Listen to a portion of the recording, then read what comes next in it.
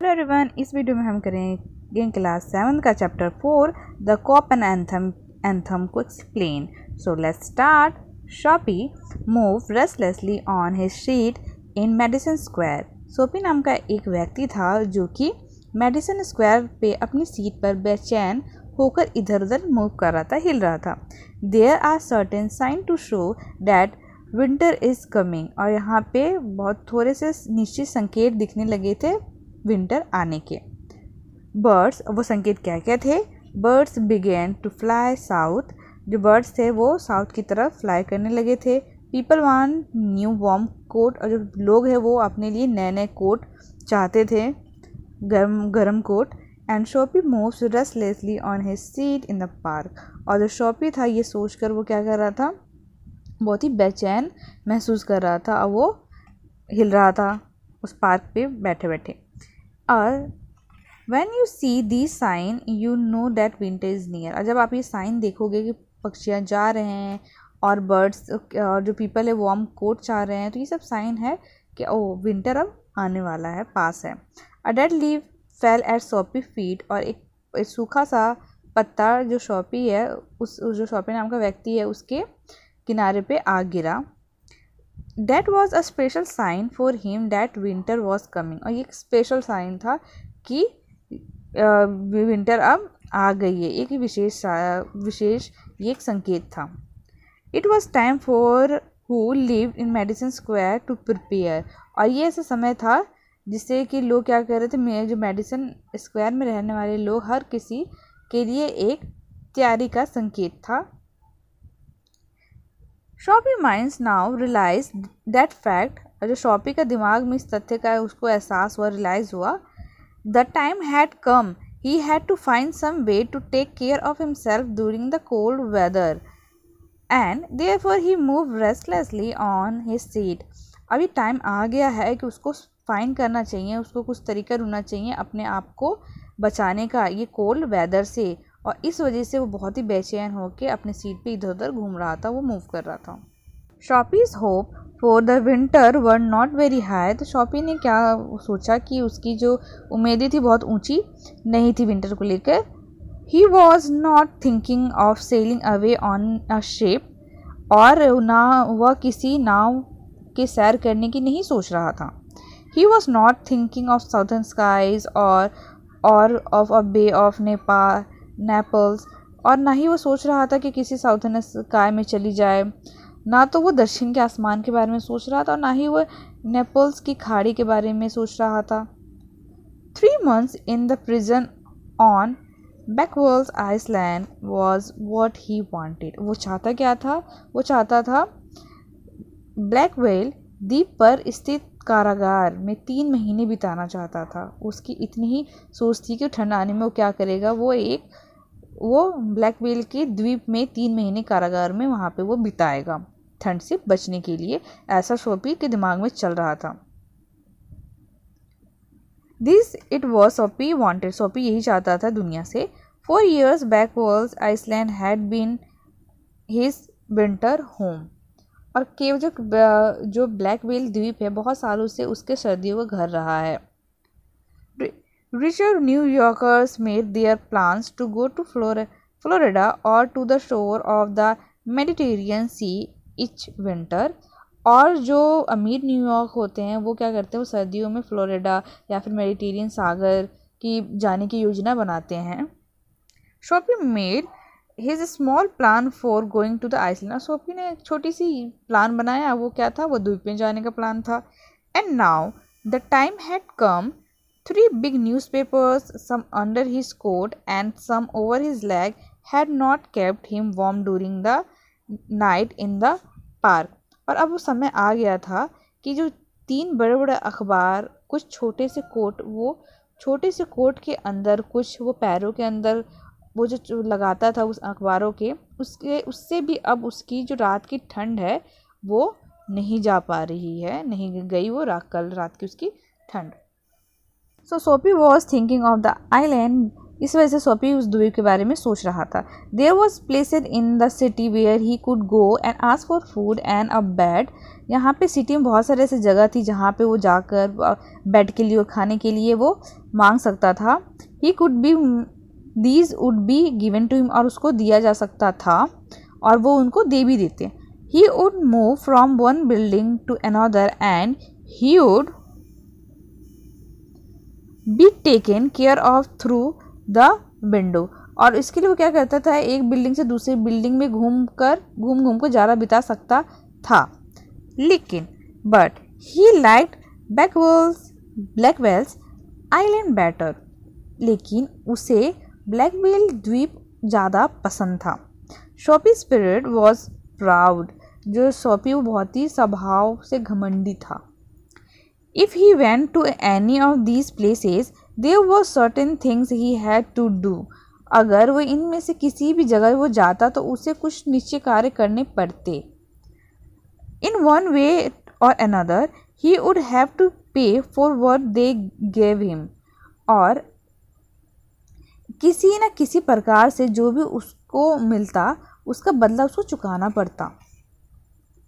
But they would they would not ask for money भले उससे पैसे नहीं मांगते but they would make him wash his whole body पर भले वो उससे पैसे नहीं मानते वे उसके वो उसको नहाने के लिए कहेंगे, और they would make him answer questions they would want to know everything about his life वो उसको नहाने के लिए कहेंगे, वो उससे कुछ सवालों का जवाब मांगेंगे, वे उसके जीवन के बारे में कुछ जानना चाहेंगे.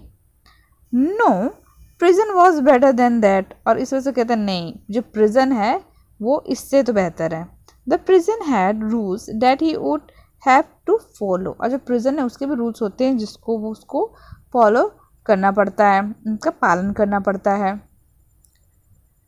But in prison a gentleman's own life was still is own life पर जो प्रिजन है परंतु वहाँ एक सज्जन का अपना अलग ही जीवन होता है जो प्रिजन में Soapy having decided to go to the island at once began to move toward his desire Soapy ने वो द्वीप पे जाने का फैसला कर लिया और वो अब अपनी अभिलाषा, जो उसके डिज़ायर है इच्छा है, उसकी ओर वो बढ़ने लगा कि किस तरह इसको पूरा किया जाए।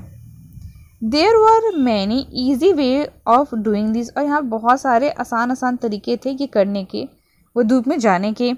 The most pleasant way was to go and have a good dinner at some fine restaurant. Then he would say that he had no money to pay. पहला तरीका क्या था? उसके पास जो पहला प्लान था, सबसे बढ़िया प्लान कि वो किसी रेस्टोरेंट में जाएगा, पेट भर के खाना खाएगा और तब वो कहेगा कि उसके पास चुकाने के लिए पैसे नहीं है, उसके पास मनी नहीं है। And then a cop would be call it would have it would all be done very quickly उसके बाद क्या होगा? उसको पुलिस बुलाई जाएगी और ये सब कुछ चुपचाप बहुत ही जल्दी हो जाएगा। The cop would arrest him the cop would arrest him he would be taking to a जज उसके बाद कॉप उसको अरेस्ट कर लेगा और उसको उसको लेकर जज के पास जाएँगे। द जज वुड डू द रेस्ट उसके बाद जो जज है, वो सारे काम कर देंगे, जो बाकी के होंगे आगे के। Soapy left he seat and walk slowly out of Madison Square और उसके बाद जो शॉपी है, वो धीरे से अपनी सीट छोड़ता है और धीरे धीरे धीरे कदमों से वो चलता हुआ मेडिसिन स्क्वायर के उस जगह पे चला गया। To Square the place where a great street call Broadway and Fifth Avenue meet और वहाँ तो पहुँच गया, जहाँ पे एक ब्रॉडवे नामक सड़क फिफ्थ एवेन्यू से मिलती थी। He went across this wide place and started north on Broadway इसके बाद वो उस जगह की पार कर कर ब्रॉडवे के उत्तर की ओर वो चल पड़ा।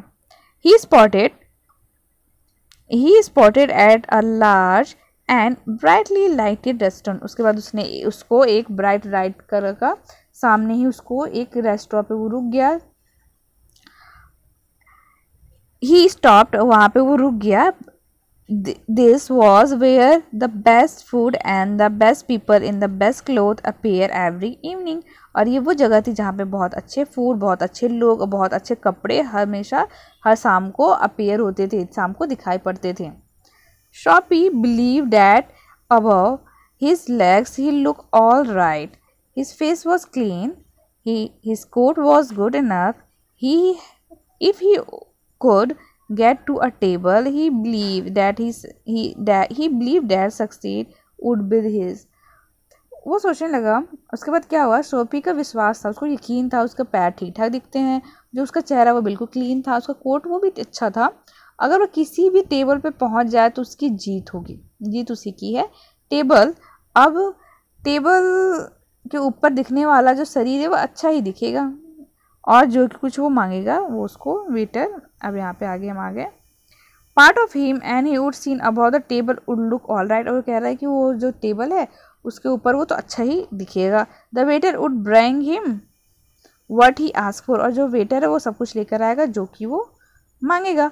He began thinking of what he would like to eat और वो सोचने लगा कि वो क्या खाएगा।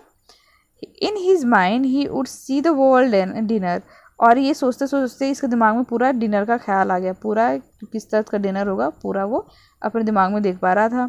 The cost would not be too high अब वो उसने उसके बाद बोला कि कोस्ट जो जो उसके कोस्ट है वो बहुत ऊँचे नहीं होंगे। He didn't not want the restaurant people to feel any real anger वो नहीं चाहता था कि जो रेस्टोरेंट के लोग हैं वो बहुत ज़्यादा गुस्सा हो।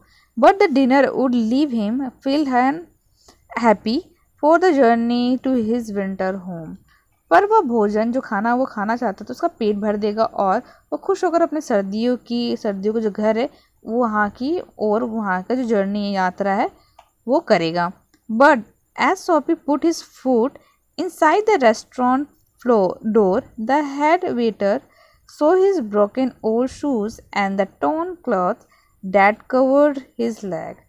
पर जैसे ही शोपी जो शॉपी है, उसने अपना पैर जो रेस्टोरेंट के दरवाजे पे रखा, वैसे ही जो वहाँ के जो प्रमुख है, जो मेन है वेटर ने उसके टूटे पुराने जूते और फटे हुए, उसके जो पैरों को ढकने के लिए फटे हुए कपड़े, वो देख लिए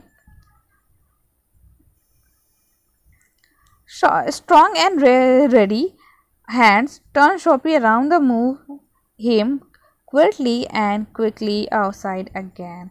और ताकतवर और तैयार हाथों ने उसको पीछे घुमाया और चुपके से जल्दी से उसको बाहर निकाल दिया। शॉपी टर्न ऑफ़ ब्रेडवे सोपी अब क्या हो गया? ब्रेडवे से चला गया। It seems that it most easy way to the island was not not to be his. He must think of some other way of getting there. ऐसा लग रहा था कि उसको द्वीप में जाने का ये जो आसान तरीका था, वो तो बिल्कुल ही फ्लॉप हो गया, के लिए नहीं था। वह उसे, उस वहाँ पे पहुँचने के लिए वो दूसरा रास्ता अब ढूंढेगा। At a corner of Six Avenue was a shop with a white glass window Six Avenue के कोने पे एक दुकान थी, जिसमें शीशे की चौड़ी सी खिड़की लगी थी। विथ इलेक्ट्रिकल लाइट उसमें इलेक्ट्रिकल लाइट भी लगा हुआ था। Soapy picked up a big stone and threw it through the glasses और ग्लास और शॉपी ने क्या किया एक बड़ा सा पत्थर उठाया और उस ग्लास के शीशे पे उसको दे मारा। People came running around the corner. उसके बाद पीपल क्या हुए? भाग के आए कॉर्नर पे। A cop was first among them. उसके बाद कॉप आए जो उनमें से सबसे भाग के सब आए। उनमें से पुलिस वाला जो था, वो भी थे। Soapy stood still and he smile when he saw the cop. उसके बाद जो शोपी था, वो आराम से वैसे ही स्थिर बिल्कुल खड़ा था, हिला नहीं।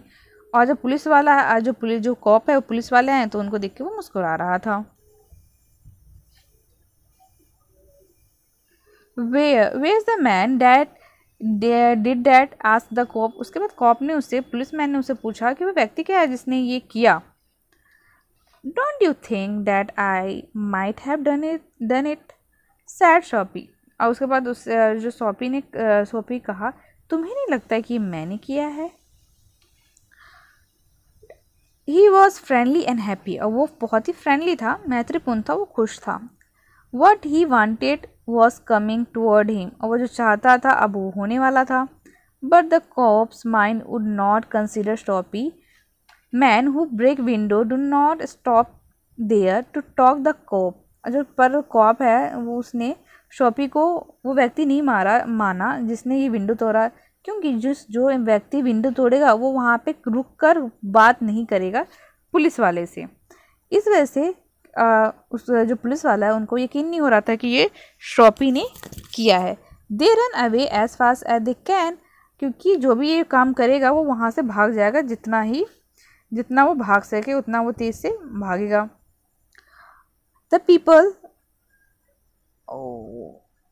the cop saw a man further along the street running उसके बाद क्या होता है? कि उसने एक व्यक्ति को देखा है कि स्ट्रीट पे दौड़ता हुआ कुछ आदमी देखा उसने, कॉप ने। ही रन आफ्टर हिम उसके बाद वो भी उसके पीछे भागे। And Soapy stick at heart walk slowly away he had fail two times और वह दौड़, जो कॉप है दौड़ने लगा। और शॉपी दुख, जो उसका दिल है, बहुत ही दुखी हुआ, दुख के साथ वो धीरे धीरे चलने लगा।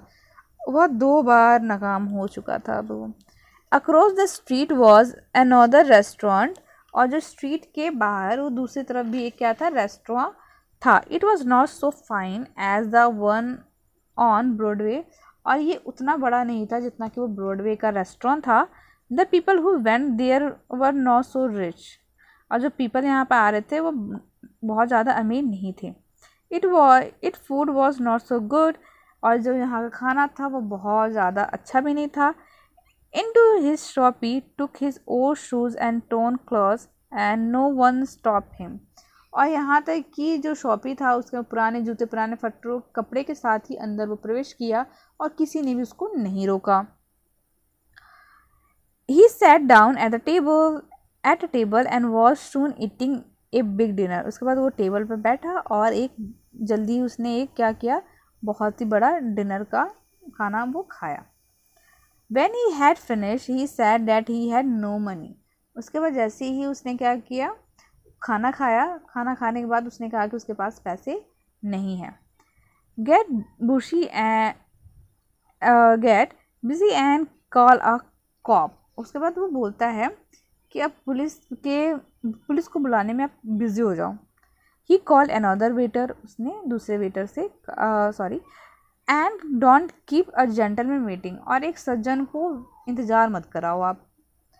No cop for you said waiter he call another waiter उसके बाद तुम्हारे लिए कोई पुलिस वाला नहीं है। एक वेटर ने कहा और दूसरे वेटर्स को बुलाया। The way two waiter threw Soapy upon his left ear on the hard street outside और दो, उसके बाद क्या किया? उन दोनों ने दूसरे वेटर को बुलाया। दोनों ने सोपी को बाहर की सख्त सड़क की पर बाएँ कान के ही तरफ़ से फेंक दिया। He stood up slowly one part at a time and beat the dust from his cloth वो धीरे से आगे उठा, बढ़ा, एक अंग उठाते हुए खड़ा हुआ और अपने कपड़ों से उसने धूल झाली। Prison seems only a happy dream the I island seems very far away अब तो उसको लग रहा था जो प्रिजन है, वो एक ड्रीम है। और जो द्वीप है उसको वो बहुत ही ज़्यादा ही दूर लग रहा था। A cop who was standing near laughed and walk away और जो कॉप था उसके पास वो बहुत ही हंसता हुआ चला गया, एक पुलिस वाला। शॉपी स्टार्टेड मूवी अगेन उसके बाद शॉपी दोबारा से चल पड़ा। When he stop he was near सवे सवेरल थिएटर्स और जब वो रुका तो वो क्या था? वो बहुत सारे नाट्यशालाएँ यानी थिएटर्स के पास था। In the part of the city's street are brightest and hearts are more joyful than other part शहर के इस हिस्से में दूसरी जगह के मुकाबले सड़क ज़्यादा दीप थी और दिलों में ज़्यादा खुशियाँ थी। Women and mans are in rich warm coat move happily in the winter year और जो महिलाएँ और जो पुरुष थे, वो अपने गर्म कोटों में खुश होकर जाड़े की हवा में घूम रहे थे।